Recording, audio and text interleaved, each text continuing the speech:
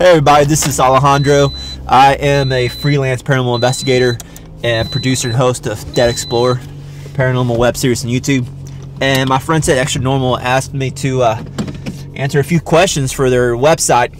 I'm actually at Fort Ringgold, uh, one of the most haunted uh, military bases turned abandoned school uh, in South Texas.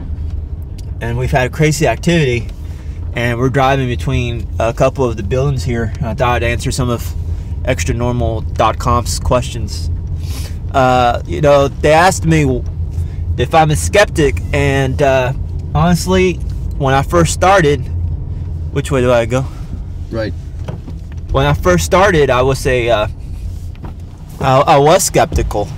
Uh, I think partially just so I wouldn't psych myself out filming investigations, but I've seen so many things from my friend Jay uh, getting scratched and choked. And, uh, you know, even in Alameda, the USS Hornet, just last month, I captured a little girl talking that it was just amazingly clear. It's like the, the experiences you have eventually start convincing you that there's something out there that could be unexplained or paranormal.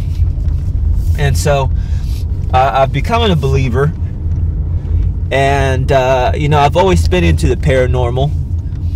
When I was a little boy, I, I loved, uh, you know, reading about uh, Bigfoot and Loch Ness and, uh, you know, the Black Panther under the White House. You want to park here? Or can we yeah, get closer? Can yeah, we can go into there a little bit. You know, oh, okay. And uh, and and even you know ghost stories. So, do you care if I park, uh, drive on the grass or no? No, no problem. No There's problem. No grass. Here? Yeah, you can park over. Yeah. And for anybody who wants to learn how to do paranormal investigations, I'll tell them you don't really need any fancy equipment. Uh, you know, you'll capture a lot of experiences just, you know, with your eyes and ears. And that's what could convince you that there's something out there. If you're looking out to find answers, you don't need to buy equipment. Just go out by yourself, see if you like it. And if you experience things, then maybe you'll want to you know, invest some more into paranormal equipment. So we're going to this building right here. We're doing an experiment. We left a, a, a, a ball for a, little girl who they say haunts this abandoned school. We left it there. We're actually going to go back inside and see if it's been moved. Uh, another question they asked me is, you know, what's one of the most haunted places I've ever been in? And really just uh, off the top of my head, I can think of a few places. Laborde House in Rio Grande City, where this fort's at you know, we were there and we had a little girl speak out loud. We could hear it. We caught it with a recording device. Uh, my friend got scratched. The USS Hornet is the most haunted ship in the Navy because it's the side the most suicides of any ship in the Navy on the Hornet. More people have committed suicide than any other Navy ship there. And uh, so that place has a lot of activity.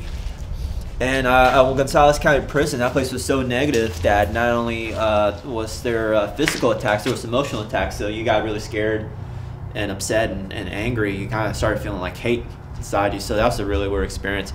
So uh, my best advice is if you're ever in a place and you feel like somebody's, uh, you know, negative energy, sometimes, uh, you know, if you are personally experiencing a lot of stress or drama in your personal life, sometimes in an investigation, people believe a spirit can invoke that out of you.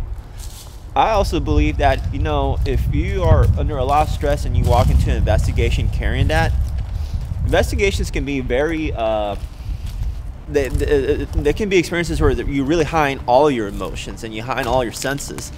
And, and so if you walk in depressed, you might feel more depressed after you do when you investigate. So go into an investigation clear headed, and that's a good way to avoid any kind of negative energy. So uh, I appreciate that. My friends at extranormal.com asked me uh, to answer a few questions for them. Uh, this episode's from Fort Ringgold will be coming out on my show, Dead Explorer, on YouTube or deadexplorer.com. And uh, just check extranormal.com out. Check out Dead Explorer. Talk to you later. Bye.